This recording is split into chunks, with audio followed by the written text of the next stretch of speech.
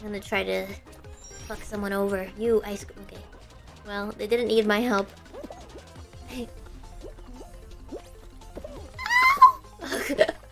I blocked that guy.